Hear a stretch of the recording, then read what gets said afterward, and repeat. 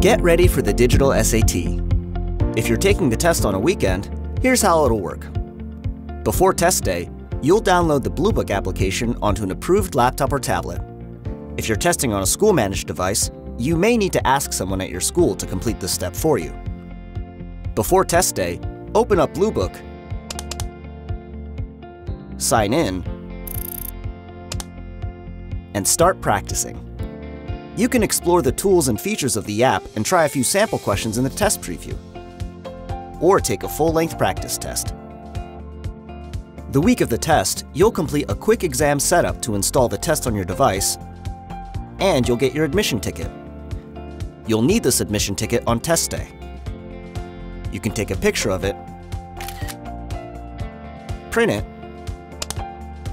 or email it to yourself. Arrive on time on test day. Check your admission ticket for your arrival time and the address of your test center. Be sure to bring your fully charged device. It'll need to stay on for roughly three hours, so we recommend you bring a power cord or portable charger.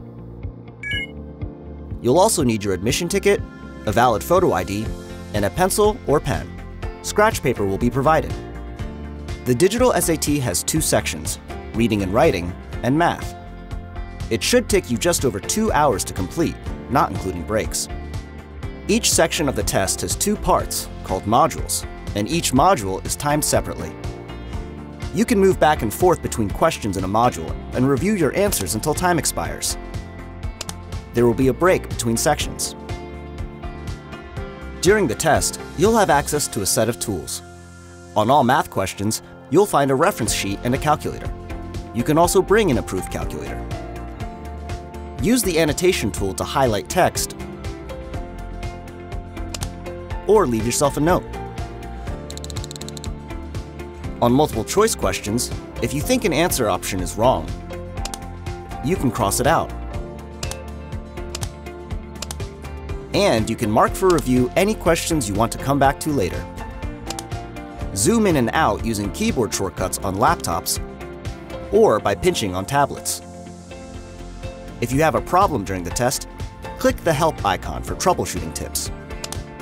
And you can always raise your hand to ask the proctor for help too.